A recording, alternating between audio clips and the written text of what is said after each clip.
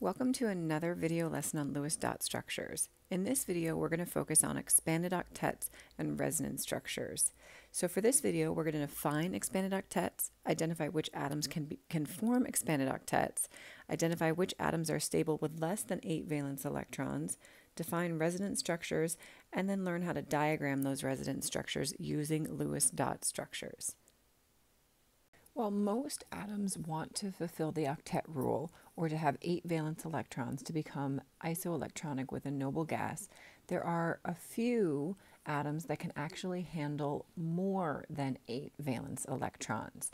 And when we have an atom that can take more than eight valence electrons, we call those expanded octets. And most of those atoms that can handle more than eight valence electrons are located in the third period or higher. So let's take a look at one of those examples, sulfur tetrafluoride. So our approach to drawing Lewis dot structures for expanded octets is going to be the same. So our very first step is to find the compound formula. So for sulfur tetrafluoride, that's going to be SF4. And then I need to calculate the total number of valence electrons. So each of my sulfurs has six valence electrons and each of my fluorines has seven valence electrons for a total of 34 valence electrons in this compound.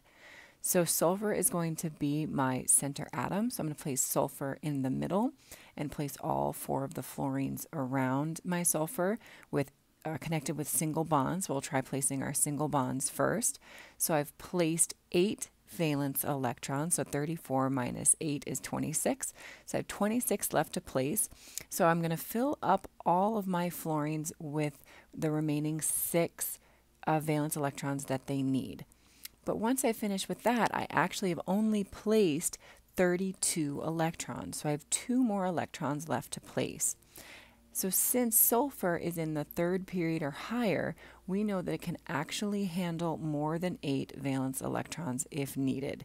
So I'm going to put those additional two valence electrons right onto my sulfur.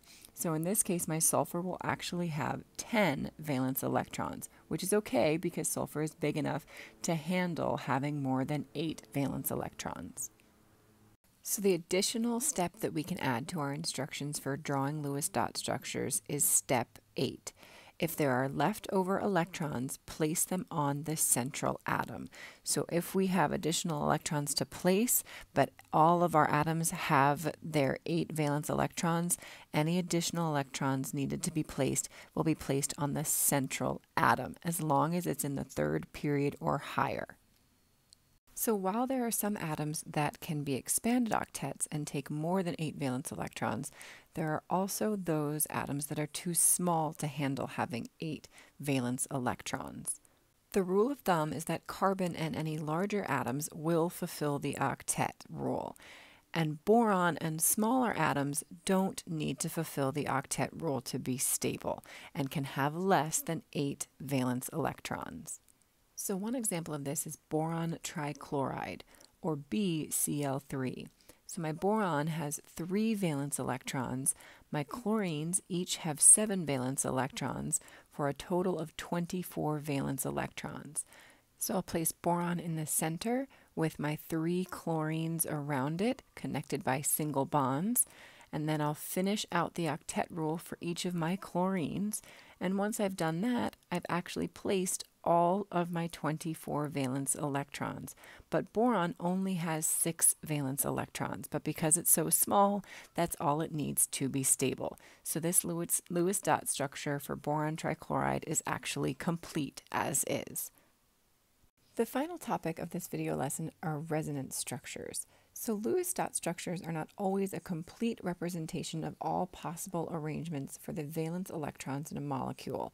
And to understand what I mean by that, let's take a look at an example, sulfur dioxide, with the formula of SO2.